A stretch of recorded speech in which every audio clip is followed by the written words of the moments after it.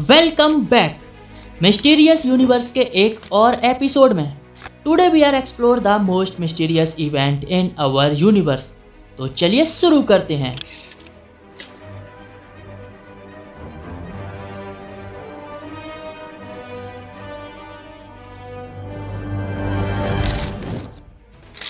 Number one आज की विज्ञान कंप्यूटेशनल क्रांति के शिखर पर खड़ी है और एक नए युग की शुरुआत करने जा रही है। क्वांटम मशीनें एक ऐसे भविष्य की परिकल्पना करती हैं जिसमें मनुष्य वो सब कुछ हासिल कर सकता है जिसके वो सपने देखता है।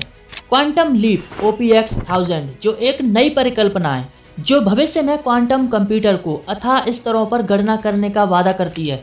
रिसर्चेस क्रिप्टोग्राफी और कॉम्प्लेक्स से कॉम्प्लेक्स प्रॉब्लम को सॉल्व करने के लिए नए आयामों को खोलने में मदद करेगी।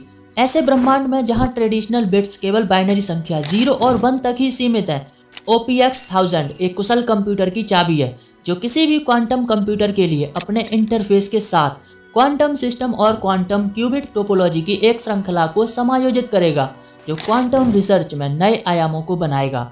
ओ पी एक्स थाउज़ेंड एक असाधारण हाई एडवांस कंट्रोलर है, जिसे बड़े पैमाने पर सुपर क्वांटम कंप्यूटर्स की प्रोसेसिंग चैनल्स को कंट्रोल करने के लिए डिज़ाइन किया गया है। Number two quantum based star track technology जो लाइट के साथ डेटा को टेलीपोर्ट करने में मदद करेगी। ये लाइट पैटर्न किसी भी डेटा को बिना किसी फ़िज़िकल मूव के टेलीपोर्ट करने में सक्षम है, जिसके ज़रिए फोटॉन्स और लीनियर डिटेक्टर द्वारा भेजे गए फोटॉन्स को डिलीवर करने वाली जानकारी को ओवरलैप करने में मदद की। मतलब डेटा टेलीपोर्ट किया गया किसी भौतिक रूप से यात्रा किए बिना। वैज्ञानिकों ने पंद्रह आयामों में अत्याधुनिक प्रगति प्रस्तुत की।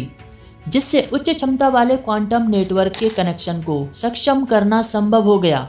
सरल शब्दों में कहें तो वैज्ञानिकों ने क्वांटम प्रक्रिया के साथ प्रकाश पैटर्न को नियंत्रित करके क्वांटम अवस्थाओं को नए तरीके से उपयोग करके डेटा को ट्रांसफ़र के बजाय टेलीपोर्ट किया बिना किसी माध्यम के ज़रिए। स्टार ट्रैक टेक्नोलॉजी व्यापक दूरी पर जानकारी प्राप्त करके क्वांटम कंप्यूटेशनल के लिए प्रभावी रूप से मदद कर सकती है।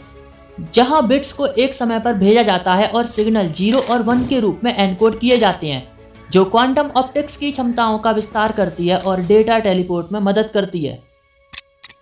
नंबर थ्री, नासा ने डीप ऑप्टिकल कम्युनिकेशन का प्रयोग करके पृथ्वी से चंद्रमा के बीच की दूरी का लगभग 80 गुना, यानी कि 30 मिलियन किलोमीटर की दूरी से एक ultra high definition video successfully पृथ्वी पर ट्रांसमिट किया।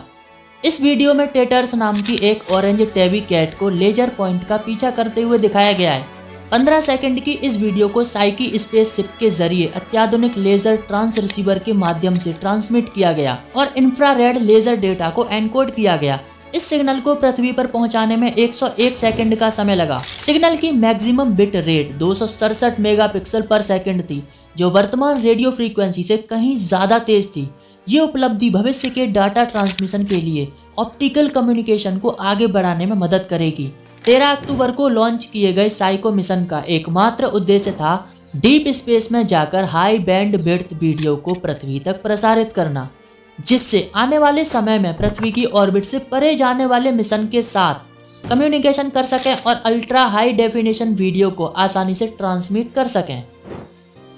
नंबर फोर साल 1930 में जब फिजिसिस्ट और इंजीनियर कॉर्ल जॉन्सकी ने अपने रेडियो एंटीना को हमारे मिल्की वे के सेंटर में फोकस किया तो उन्होंने एक अजीब तरह के रेडियो सिग्नल का अनुभव किया। कुछ एनालिसिस के बाद पता चला कि ये रेडियो वेव हमारी पृथ्वी और सूर्य की दूरी से कहीं ज़्यादा अधिक दूर से आ रही थी। ऐसी वेव जो हमारे सूर्य से आने वाली वेव के बराबर थी। लेकिन इसका सोर्स बहुत दूर था।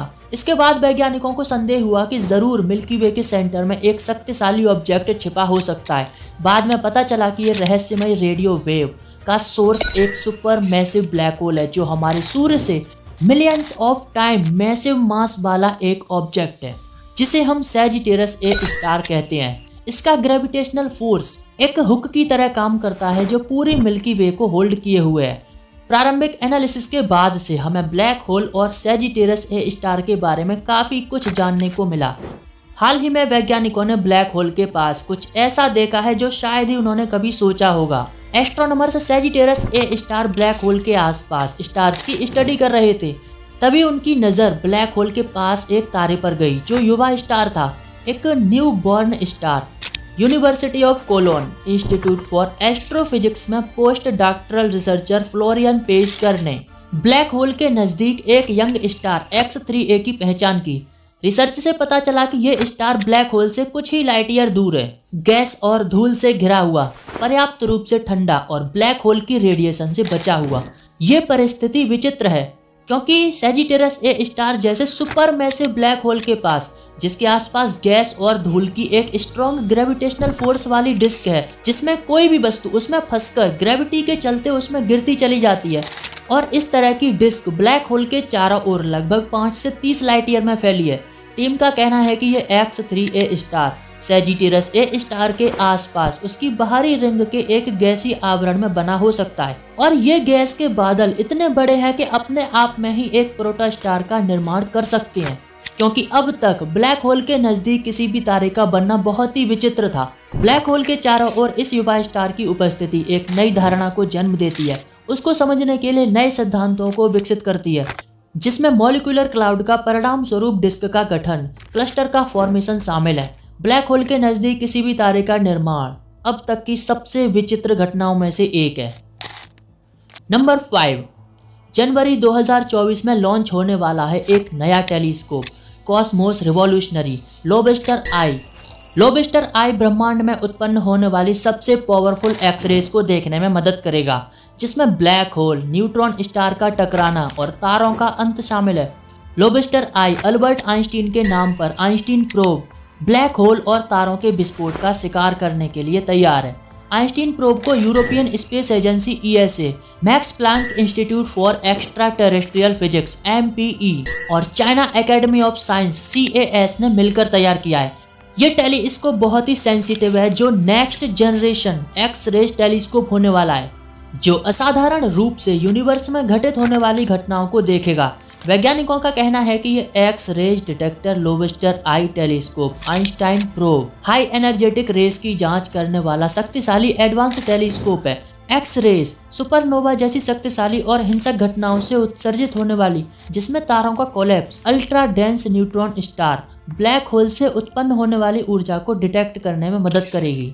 X rays Einstein probe lobster की आँख की तरह काम करता है। लोबिस्टर आई दूसरे जानवरों की तुलना में अलग होती है। जो 180 डिग्री वाइड एंगल प्रदान करती है।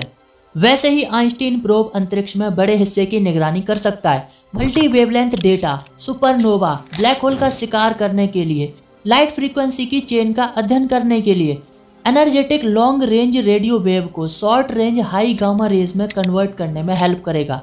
इस तरह हम आइंस्टीन प्रोब से कई तरह के नए एनर्जी सोर्स की जाँच कर सकते हैं। इस टेलीस्कोप में दो मेन इंस्ट्रूमेंट लगे हैं, wild field X rays telescope W X T जो हमें अंतरिक्ष का एक लार्ज फ़ील्ड देखने में हेल्प करेगा। एक लोबेस्टर आई की तरह 180 डिग्री वाइड एंगल के साथ। दूसरा है follow up X rays telescope FXT जो आने वाली एक्स रेज के सोर्स को खोजने में मदद करेगा। जो WXT के साथ मिलकर हाई रेजोल्यूशन और उच्च ऊर्जा तरंगों को देखने में मदद करेगा। WXT की micropore optics technique Einstein probe को 360 डिग्री देखने की अनुमति देती है। अब ये जनवरी 2024 में लॉन्च होने के लिए तैयार है। आइंस्टीन प्रोब का ये सफ़र बहुत ही रोमांचक होने वाला है। ऐसे ही और अंतरिक्ष के बारे में रोमांच से भरे वीडियोस को देखने के लिए वीडियो को लाइक और दोस्तों के साथ शेयर करके चैनल को सब्सक्राइब करें। वेल well, तो मिलते हैं नेक्स्ट वीडियो में तब तक के लिए बाय